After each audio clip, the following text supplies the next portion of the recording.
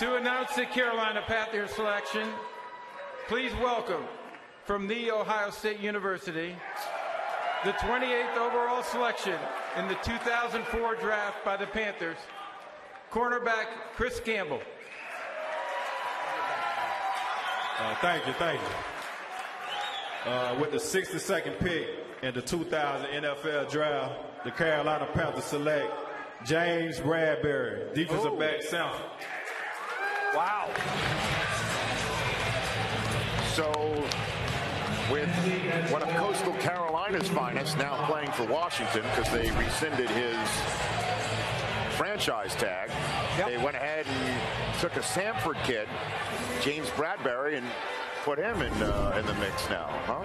This is an intriguing developmental corner. Now, he's 6'1", 211. There was a buzz about this kid. When I got to the East-West game, I had about five scouts say, hey, have you done the Samford kid yet?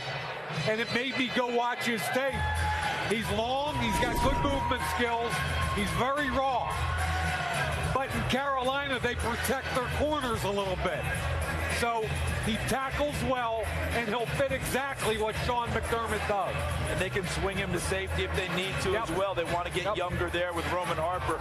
He transferred from Arkansas State because he wanted to be a corner. That's how he ended up at Samford. All right.